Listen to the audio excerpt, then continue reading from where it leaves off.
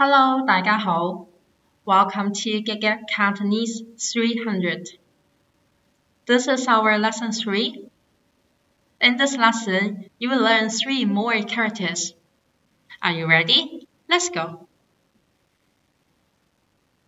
For this character, we pronounce as bo. Bo.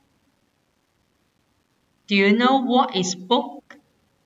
It is not a book but it is foretell, can tell you what your future is. Let's take a look how to write the word book stroke by stroke. For this word, we just separate into two parts. First and second. Bingo! Finish one character. Let's see what vocabulary are made with the word book. We can form the character Jimbo, Jimbo. It means the definition Jimbo. Let's move to the second characters. This character is a multi-pronunciation character.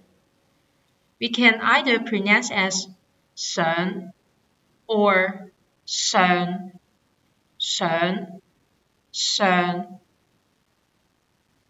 When it is a verb, we pronounce as son, son.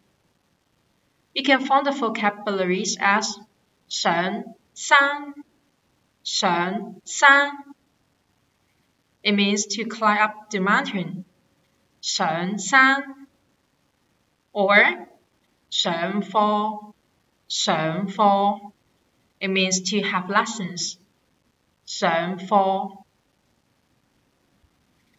when it is an adjective we pronounce as 上上 we can form the vocabularies as 上午上午 it means in the morning 上午 or we can have 上司上司 it means our boss 上司 and let's take a look for the stroke for this one we will separate into two parts and first part it is very similar to the word book but we change this stroke as horizontal stroke First stroke is 1 and then 2. Is it very easy?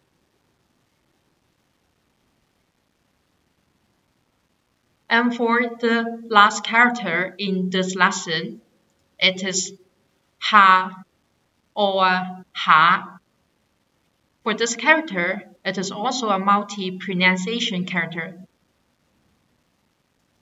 when it is a quantifier, we pronounce as ha, ha. We can form the vocabulary as da yap ha, da yap ha. It means hit once.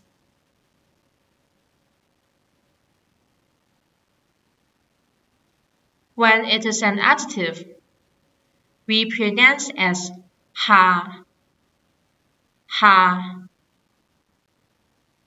We can form the vocabularies as ha yang, ha yang. It means the lower people. So the meaning is servant, servant, ha yang. Or ha ti, it means next time ha ti or ha mm. Ha mm. It means in the afternoon. Let's see how to write the word ha or ha. For this vocabulary or this character, it is very, very similar to the word bo.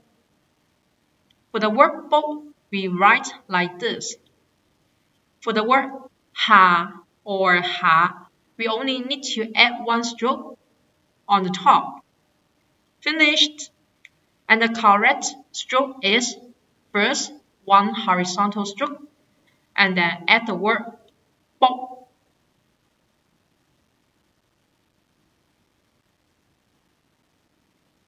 Thank you for your hard working.